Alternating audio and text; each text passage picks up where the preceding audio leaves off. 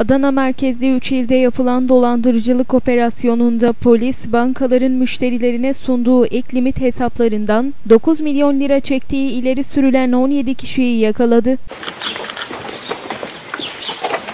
Asayiş Şube Müdürlüğü Yan Kesicilik ve Dolandırıcılık Büro Amirliği ekipleri şüpheli SBK'nın banka müşterileri için ayırdığı ek hesap limitlerinden ATM'ler aracılığıyla para çektiği ihbarı üzerine çalışma başlattı.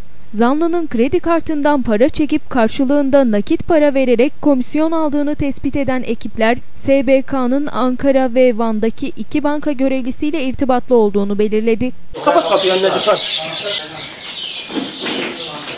Ekipler zanlı SBK'nın bankaların sistem açığını bularak ATM aracılığıyla banka müşterilerinin vadesiz hesaplar için ayırdığı ek hesap limitlerinden para çektiğini, bu paraları kredi kartlarına aktardığını tespit etti. Çalışmalarını genişleterek sürdüren ekipler paraların aktarıldığı kredi kartlarından şüphelilerin kurdukları paravan şirketler adına aldıkları post cihazları üzerinden alışveriş yapıldığını ve bu yöntemle 9 milyon lira aktarıldığını belirledi. Ekipler ismi belirtilmeyen iki banka görevlisinin paraları başka şüphelilere aktararak Dubai'ye kaçmaya çalıştığını belirleyince Adana, Ankara ve Van'da 26 adrese operasyon düzenlendi. Operasyonda ikisi banka görevlisi 17 kişi gözaltına alındı. Şüphelilerin evlerinde yapılan aramalarda ise çok sayıda kredi kartı, post cihazı, sahte kimlik ele geçirildi.